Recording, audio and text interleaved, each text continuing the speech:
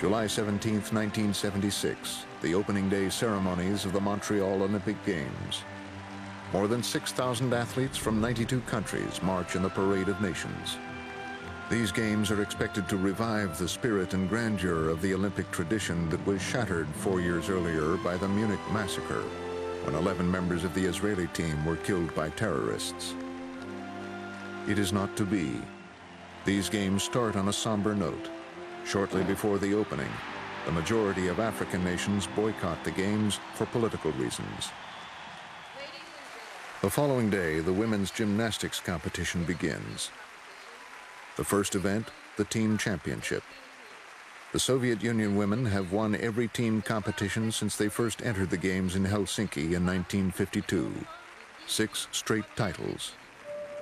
Led by Ludmila Tourischeva, Olga Korbut, and the rising new star Nelli Kim, the Soviets are again the heavy favorite to win. We came into the Olympic Games, and at that time, the concept was that the strongest team in the whole world was the Soviet Union. Nobody, nobody even, even turned a camera toward our little bitty team. The event is contested over two days. Compulsory exercises the first day, optionals the second. Six women from each team may compete. Their cumulative scores will decide the winning team. In the second round, the uneven bars, Nadia Comaneci captivates the crowd. Oh, look at that amplitude. Ooh. She is really moving well.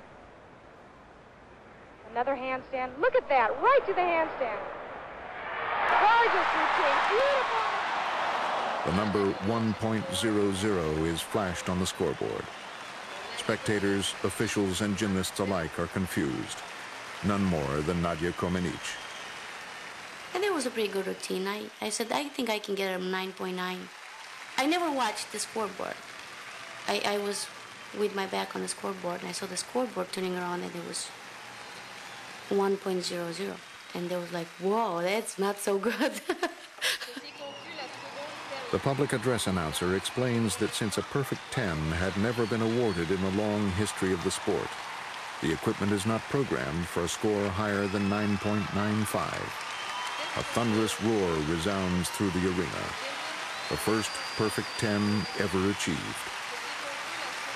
And for the very first time ever in the history of the Olympic Games, a perfect 10. And gosh, with that one, we've been the happiest campers in the whole world.